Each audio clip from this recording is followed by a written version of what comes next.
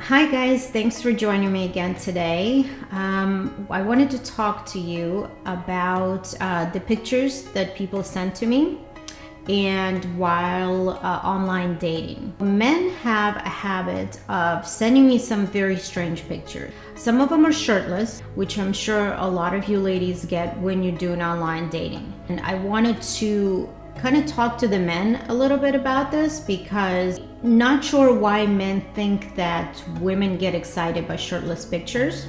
No matter how ripped you are, no matter how in amazing shape you are, it's it's not a turn on for women. We get excited by your brain, by your mind. We don't fall in love with your body or with your physical attributes. Especially when you come to a matchmaker, don't send shirtless pictures. I have have had everything from selfies in the bathroom to, you know, like I said, shirtless pictures.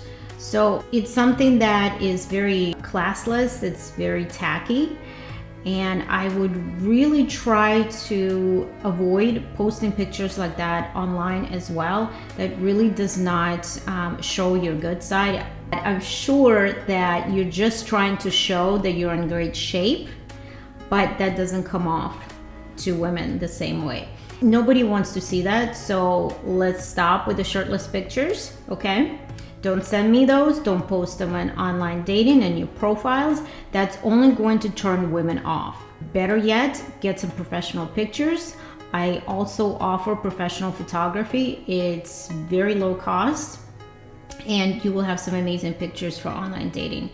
Um, you don't have to be in a suit, you don't have to be in a gown for ladies but you could be in nice dark jeans and a nice button down shirt. You don't even have to do a tie, maybe a sport coat and some really nice shoes. What women want to see more than your shirtless pictures are men in a really, with really nice shoes, really nice pair of jeans and a nice shirt. Hopefully this helps. And if you enjoyed this video, subscribe and uh, share and tell me what you've encountered online, which I'm sure you all have some crazy stories.